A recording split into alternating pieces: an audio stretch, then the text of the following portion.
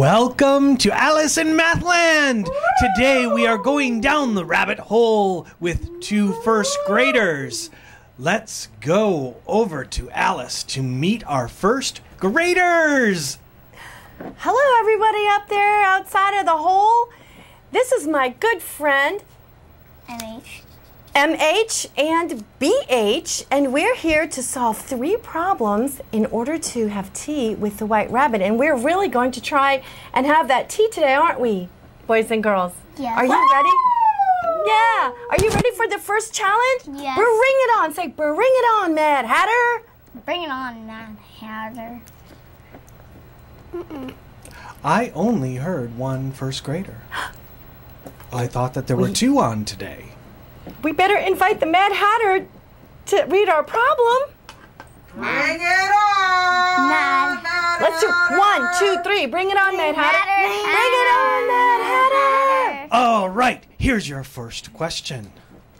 Which of these pictures shows Gemma's hat? It has two buttons, or I think that's a button.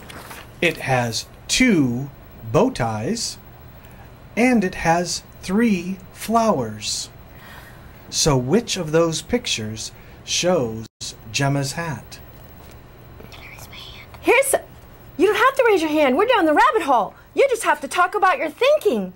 Now, what we're going to do is give up. Well, we're going to look at these hats and we're going to ask the Mad Hatter to give us those clues one more time. I need those clues one more time. Apparently, you don't. You already know which hat it is? Okay, well, then I would like to hear the clues one more time, Mad Hatter. It has two buttons. Hmm. Yeah. And? Do any of those other hats have two buttons? Yeah, which hat has two buttons? That one.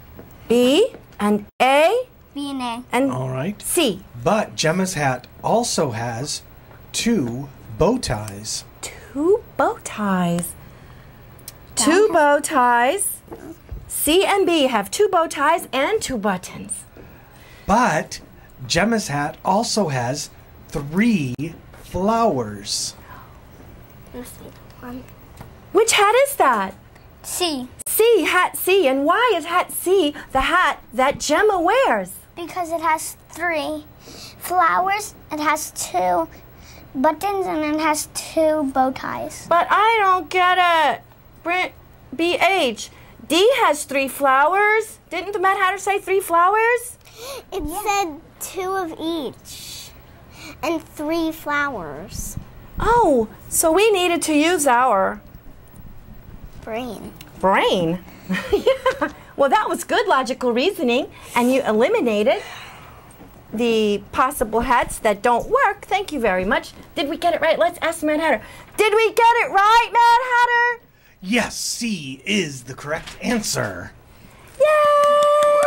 Woohoo! Yay! Woo-hoo! Welcome, boys and girls. I'm the Cheshire Cat. I have your next question. And this question deals with pumpkins. How many pumpkins do you see? Four. How many pumpkins do you see? That's easy. How many, BH? Four. Four. Okay. pumpkins. But how many smiles do you see? Four. Four. Four smiles? And how many triangles do you see? Uh oh. Hmm. Eight. Twelve. Is it eight or is it 12? Why do you think it's 12? MH? I see eight triangles. Two, four, six, eight. Oh, they mean triangles, not just eyeballs. I know, I said twelve. Oh, well, how did you figure 12? Because I counted all of them. How did you count them? I went like one, two, three, four, five, six, seven, eight, nine, ten, eleven. Well, twelve, I think. What? Oh, Okay, Wait, wait, that's- BH, that's pretty- do you want to change your answer? Can I? BH. That's BH. How many triangles do you see, BH? Eight. You see eight triangles. Where where are they? I counted by twos. You counted by twos. And I think you're Twelve. You I said count- twelve. There's twelve. Okay.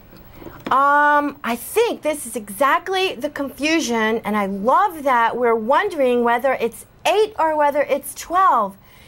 Which shape is the triangle shape? How do you know that it's a triangle?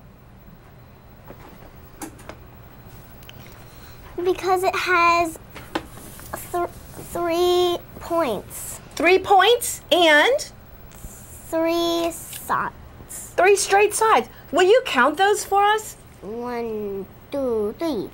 No, they mean like how many? Yeah. Like all of them. Three. Oh, forgot them. One, two, three, four, five, six, seven, eight, nine, ten, eleven, twelve. We've come to consensus. We see 12 triangles. Woo! Yeah, oh, that's I fantastic. totally got how we were a little bit confused on that. I was thinking the eyeballs. You But the only nose have is a triangle, one too. more problem left, and that is by the Queen of Hearts. Queen of Hearts. I hope she's nice. All right, boys and girls, you have to solve one more problem in order to get to the rabbit. One more problem. Can you draw one li- more line to make two equal triangles? Well, let's see. Here's a copy of what the Queen sent by messenger. And look, we have some marking instruments. Let's reread the problem together. Draw one more line to make two equal triangles. What's an equal triangle? What are equal triangles, BH? I don't know. Do you, MH? An equal triangle. What does equal mean? They're the same thing. The same thing. Can we put one line inside of that square and create two triangles that look like the same thing? Yeah. Oh, this is a hard one. How many lines did you draw? Uh, Oh, let's see if we have another. Let me try a. Here's a square.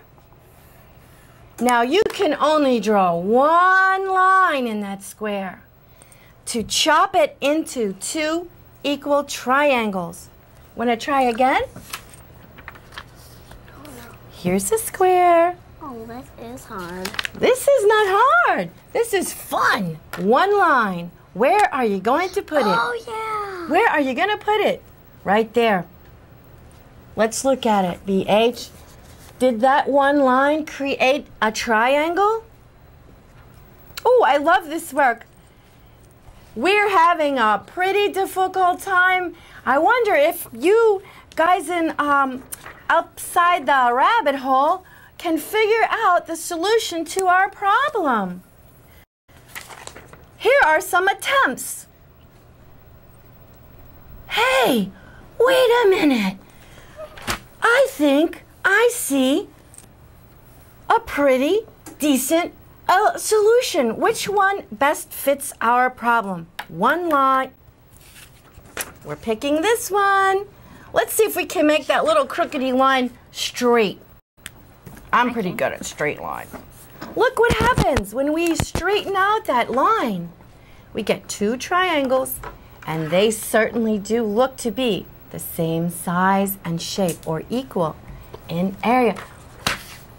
Good job. Let's ask the queen if we got it right. Queen, do you see a solution worthy of your majesty? I wasn't sure about that one. That one was extra tricky, but I think BH did solve it. Congratulations. Yay! Woohoo! BH, you saved the day. We get to drink tea.